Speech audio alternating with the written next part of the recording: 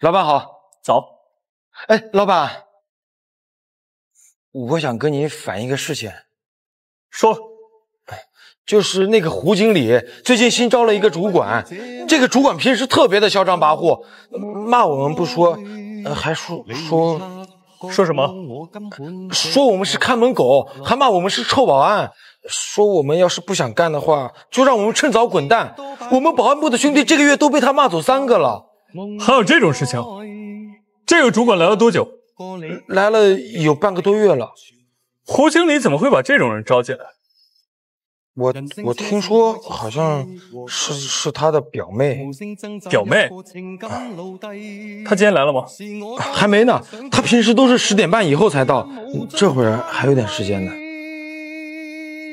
这样，你去拿套保安服给我。今天啊，我要亲自会会他。哎，好。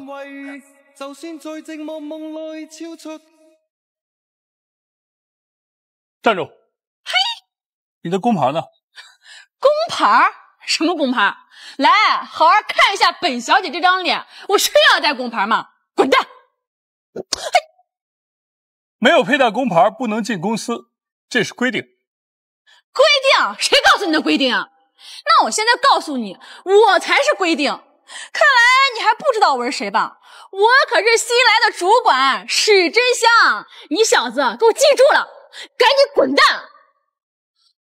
哎，主管也不行，你身为主管，难道不是更应该起到带头作用？今天没有佩戴工牌，就是不允许进。我说你这个臭保安，你个看门狗，你信不信我分分钟啊扒掉你身上这层皮啊！你怎么还骂人呢？你也太嚣张了！我骂的就是你，我骂你怎么了？我告诉你，我一句话能让你立马滚蛋。让我滚蛋，不是你说了算的，那是老板说了算的。哎呀，那我告诉你，老板不在啊，还就是我说了算。哎，你信不信啊？我现在啊，我就给我表姐打电话。哼，在你来之前啊，我已经开堵三个保安了，不然你以为你有什么资格站在这儿啊？哼。喂，表姐，你赶紧来公司门口一趟，这个臭保安欺负我。嗯，好，那我等你哦。你小子，你完蛋了，等着吧你！哼，美女，你的表姐是谁？我表姐是谁？我说出来我吓死你！狐狸精，胡经理，听过吗你？切！美女，我奉劝你，天狂必有雨，人狂。必祸！哎，对哟，还给我拽起文化了，还语呀货呀的，别嘚瑟，等着吧，一会儿有你哭的。切，老板，王秘书，你怎么来了？谁？让我看看哪个不长眼的。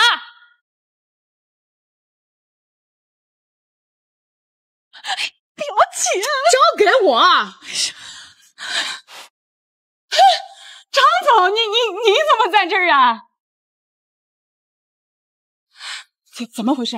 嗯，张总，刚刚呀都是误会，都是误会，怪我呀有眼不识泰山，没把您认出来。您是妖精儿，哎，你看我还带个这玩意儿都没认出来，你哎扔掉，不好意思啊。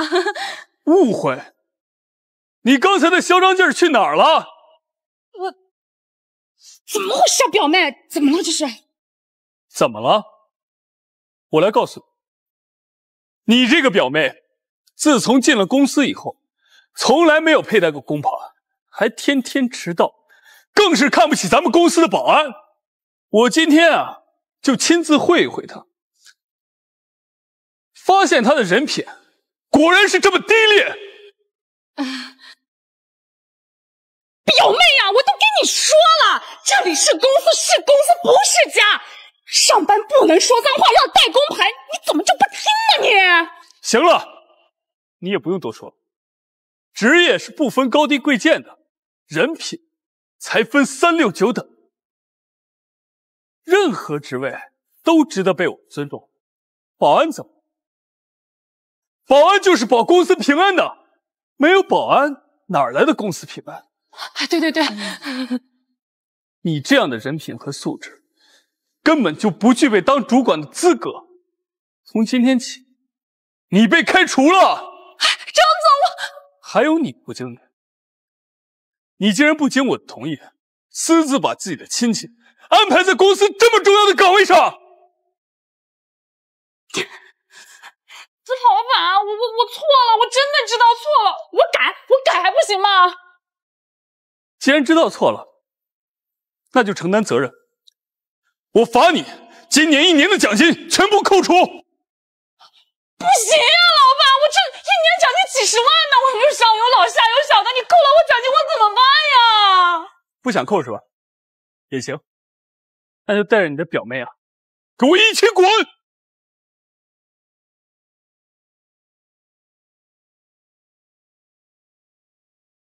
谁来来接我的？哎，你把别人这么好的车碰坏了，你赔得起吗你？穷光蛋！程小明，我告诉你，今天我的好朋友在这个高档的餐厅给我办生日 party，就你这种土鳖，你这辈子恐怕都没见过吧？有什么事儿抓紧说，说完赶紧走。要是我朋友看见你，我丢死人了我！我知道今天是你过生日，这个车啊是是什么事呀？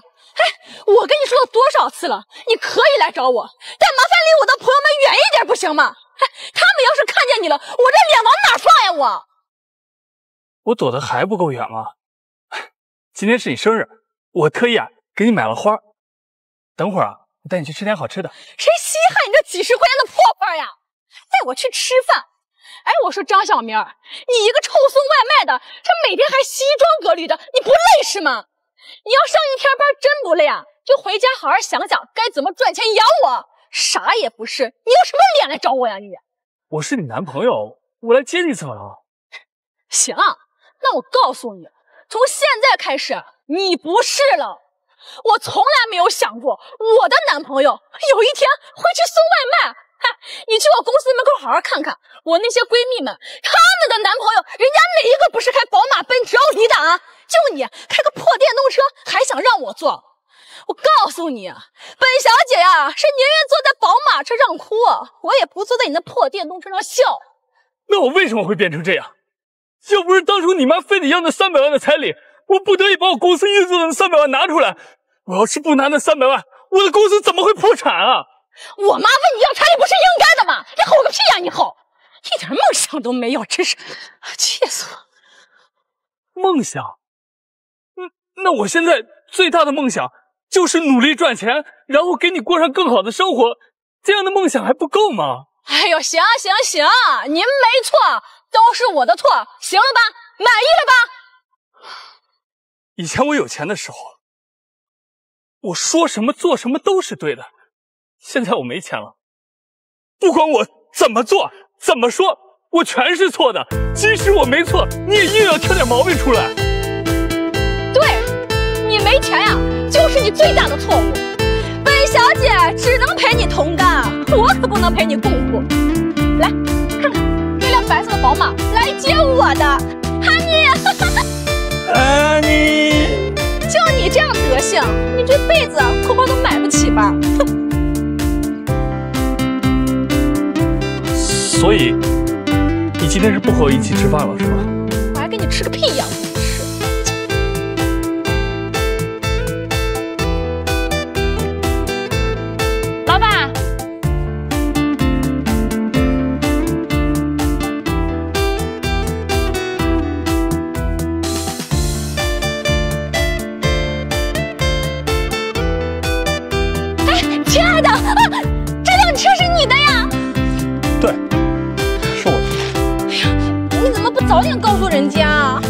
早点告诉你。